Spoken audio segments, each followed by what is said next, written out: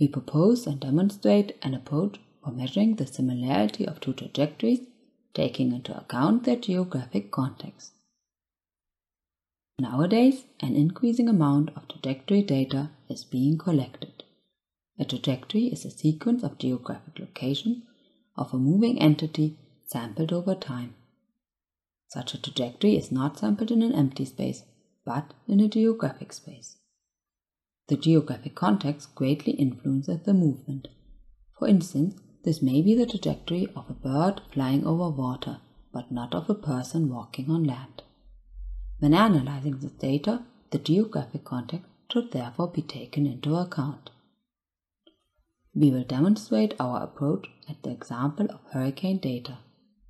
For hurricanes, an important geographic context is whether they are moving over land or sea. Over the warm waters of the ocean, a hurricane moves faster and it slows down over land. In hurricane analysis, similarity computation has two important applications. One is prediction and the other classification. Let us first discuss the general task of trajectory similarity in a geographic space.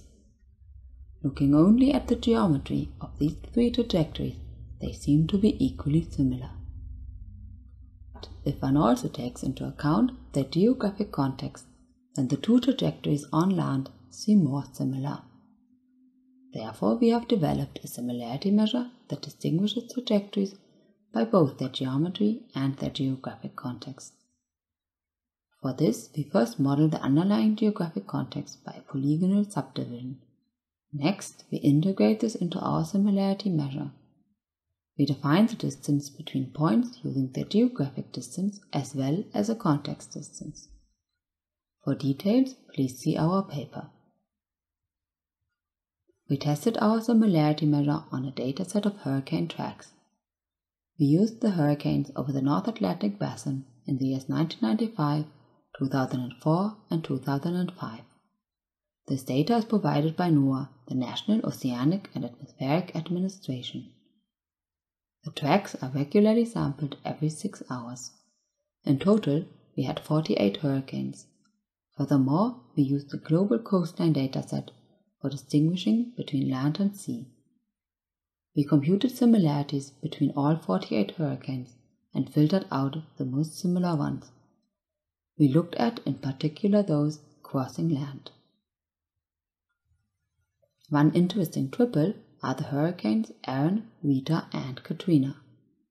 We note two effects. First, when increasing the influence of the geographic context on the similarity, Erin and Katrina remain similar, while the other two pairs become less similar.